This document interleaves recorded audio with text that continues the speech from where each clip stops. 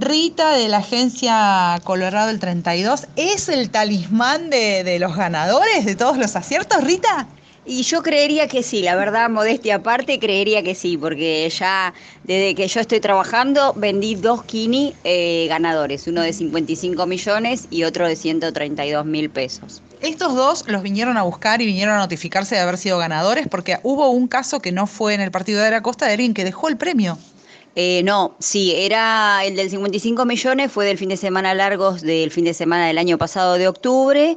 Em, el cliente hizo la jugada el sábado a las 5 de la tarde, el lunes vino, sabíamos que el premio era de esta agencia, empezamos a preguntar a todos los que habían jugado Kini y esta persona dijo, creo, no sé, qué sé yo, fue a buscar el ticket y cuando lo revalidamos en la máquina, casi se nos desmayó acá. El señor es de Florencio Varela, revalidó el ticket y lo fue a cobrar a la plata. Bueno, y además hay algo súper novedoso que ocurre, por lo menos en esta agencia, que es cuando vos pasás felicitaciones al ganador de estas son las quinielas de todos los días, ¿no?